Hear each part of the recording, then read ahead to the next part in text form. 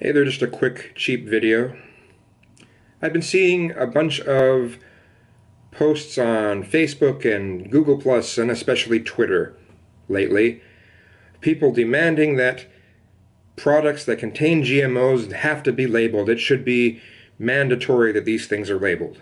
Okay, as far as I'm concerned, if a company wants to label that they don't use GMOs, you know, the government shouldn't stop them. And there have been some pushes by some people to shove forth that uh, companies shouldn't even be able to do this because it might hurt the companies that uh, uh, that blatantly do use GMOs. You know, whatever. You know, if if a whatever a company wants to market their product as should be up to them.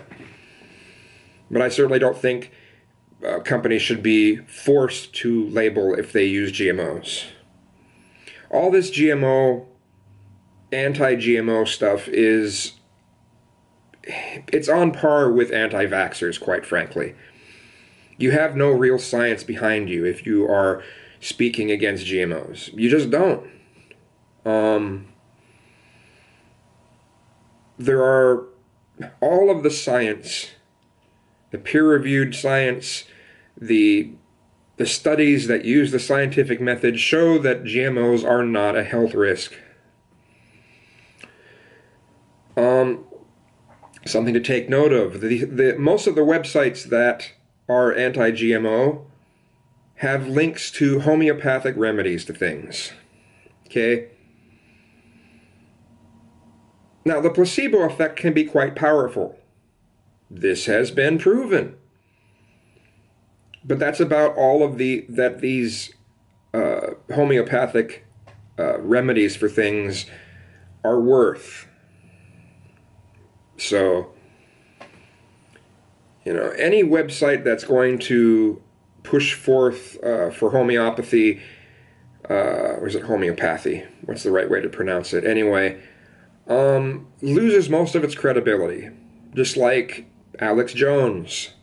You know, sure, uh, someone like Alex Jones might uh, one out of a hundred things he says might be true but you're supposed to wade through all that shit and try to figure that out. If a website shoves forth uh, homeopathic remedies, uh, you might as well toss it aside as just being another conspiracy website. Um, the sort of mindset that's that these things have in common too are, you know, they'll say, "Oh, look, uh, this if your the food that you're eating has some." Ingredients in it that you can't pronounce or they're really, really long names, uh, be scared. Uh, no, don't be scared. Okay? Now, if you look these things up and you find truly that um, it has these ingredients are something that have been scientifically proven to be bad for us, yeah, that's that's a different story. But um, you know, you can look up you can look up the chemical makeup of uh, an apple or an orange and find tons of chemicals you can't pronounce. Um, I very much am a supporter of looking up the looking at the ingredient lists of products you want to ingest, and when you don't know what they mean, you look them up. These these are your friends. These are some of the greatest things about having this technology around anything that you don't know at, the, at that moment, you can look up. And so what if something that would have taken you 10 minutes to shop for, you now spent two hours? You know, the next time you shop for those things, you'll have more knowledge and it won't take as long. So, but, you know, when it comes to GMOs, yeah, your ignorance in science is not an argument against science. Your feelings are irrelevant on this.